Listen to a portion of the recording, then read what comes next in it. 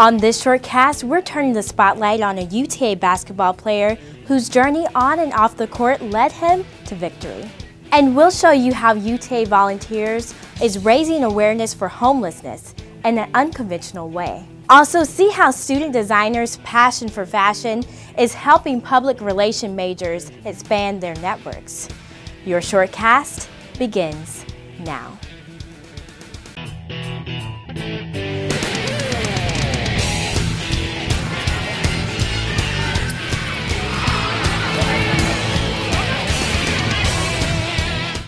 I'm Briana Bolton. Welcome to the Shorthorn Shortcast.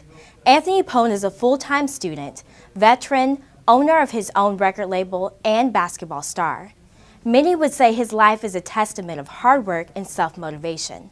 But the struggle to get to where he is now is what keeps him motivated. Here's your Shortcast spotlight on UTA senior Anthony Pone.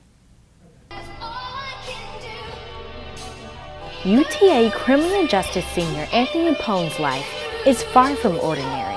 A day in my life, um, I wake up in the morning around 7 o'clock,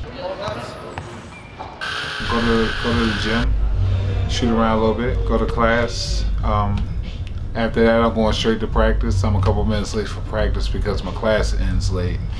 And then after that, I'm going home, studying. And at night, this is what I do. I'm in the studio. The basketball player is also the CEO and manager of Home Team Entertainment, a record label he started with his best friend Sonny from Philadelphia. But success didn't come easy for him. His life was filled with many obstacles. It was raining that night. The car was going 98 miles an hour. I wasn't driving, I was in the passenger side. And the car hydroplaned and went into a pole. The pole broke in half and then it crushed through the car. Um, it took them three hours to get me out of the car, and when they did, they said I went to complete shock. After a car crash in 2002, he spent five months in the hospital. During the third month, doctors began to slowly take him out of a sedated coma. When he woke up, he noticed his right leg was missing. I looked down and and I saw bandages instead of my leg, and I went back to sleep. It was something to think about. And I woke up and I said, okay, what am I going to do next? And I wasn't really thinking about playing sports again. But his love for basketball drove him to move from Philadelphia to Texas in 2008 so he could play for UTA's Moving Mavs.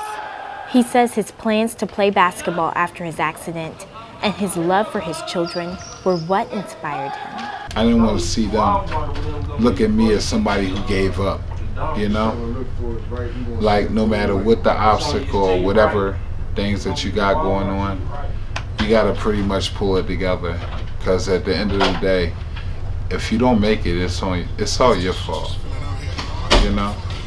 You can't blame anybody for an opportunity that was given to you. My motto, keep working hard. Working. On Friday night, UTA volunteers brought awareness to homelessness through its event, One Night Without a Home. Students slept outside of Central Library Mall from 7 p.m. to 7 a.m. to experience what it's like to be homeless. They built houses made of cardboard and wore signs with messages from real-life stories of people living in the Arlington Life Shelter. Speakers from the shelter and students share their personal experiences with one another. One student says he wouldn't want to be anywhere else for his 20th birthday. Homeless, homelessness is very important to me. I was on the verge of homelessness, me and my family were. Um, I grew up in a not so well environment. We were down on money. Like I said in my, um, when I talked in front of everybody, we, I would walk with my father to go donate plasma for money, and that's how, that just sums up how, about how bad it was.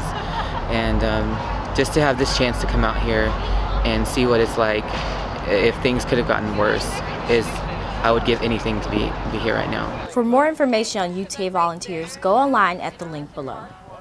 UTA's Public Relations Student Society of America had their second annual fashion show at Blackfinn on Friday night.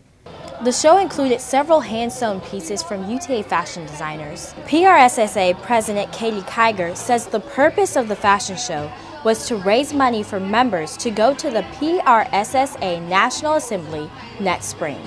$1,000 is a lot of money and the experience of going to national events is something unparalleled for public relations majors. Uh, beginning to, you know, start your network through the entire nation when you're a college student is a really big plus. Plus you're gonna learn so much information that's gonna help you further your career. It's just, you know, something that we really encourage members to do and this is really giving us um, an opportunity to send them. The organization raised more than $400 from the fashion show. Be sure to check out the Shortcast next Monday for more stories on what's happening on your campus and beyond. I'm Briana Bolton. Thanks for watching the Shortcast.